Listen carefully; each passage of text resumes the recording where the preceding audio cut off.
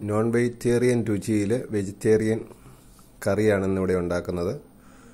അതിനായി നമ്മൾ അര കിലോ ചേന ചെറുതായിട്ട് അരിഞ്ഞ് വെച്ചിരിക്കുകയാണ്.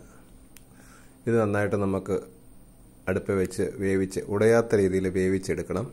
നമുക്ക് ഒരു നാല് സവോള ഇഞ്ചി പച്ചമുളക് വെളുത്തുള്ളി ഇതെല്ലാം ചെറുതായിട്ട് അരിഞ്ഞ് മാറ്റി വെക്കണം. നമുക്ക് ചീനിച്ചട്ടി അടുപ്പ് വെക്കാം. ആവശ്യത്തിന് എണ്ണ ഒഴിക്കാം കുറച്ച് കടുകിടാം. നമുക്ക് ഈ സബോള അരിഞ്ഞത് ഇതിന്റെ കൂടെ ചേർക്കാം. സബോള പെട്ടെന്ന് വഴറ്റി കിട്ടാൻ വേണ്ടി നമ്മൾ കുറച്ച് ഉപ്പ് ഇടുകയാണ്. ഇത് നന്നായിട്ട് ഇളക്കി കൊടുക്കണം.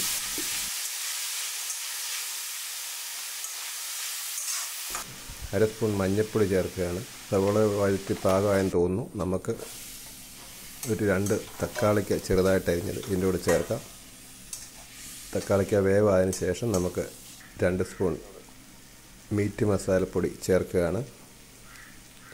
ഗരം മസാലപ്പൊടി ഒരു കാൽ സ്പൂൺ ചേർക്കുകയാണ്. ഇതെല്ലാം കൂടെ നന്നായിട്ട് പൊടികളെല്ലാം ഒന്ന് മൂക്കുന്നതിനായി നമുക്ക് ഒന്ന് ഇളക്കി കൊടുക്കാം. മൂത്തതിന് ശേഷം നമുക്ക് ഒരു ഒന്നര രണ്ട് ഗ്ലാസ് വെള്ളം ചേർക്കാം.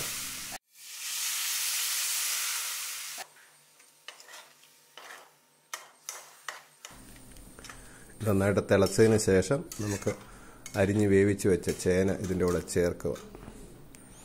ചേന ചേർത്ത് കുറച്ച് നേരം ഇതിന്റെ എരിവും എല്ലാം ഇതിൽ ചേനയിലൊന്ന് പിടിക്കണം. ആവശ്യത്തിന് ഉപ്പ് ചേർക്കാം. ഏതാണ്ട് കറി റെഡിയായി കഴിഞ്ഞു.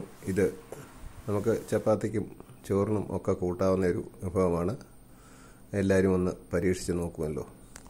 നിങ്ങൾക്ക് ഈ വീഡിയോ ഇഷ്ടമായെങ്കിൽ ഈ ചാനൽ സബ്സ്ക്രൈബ് ചെയ്യുക. ഇനിയും പുതിയ പുതിയ വീഡിയോസ് അപ്ലോഡ് ചെയ്യുമ്പോൾ നോട്ടിഫിക്കേഷൻ ലഭിക്കാനായി ബെല്ലൈക്കൺ ക്ലിക്ക് ചെയ്യുക.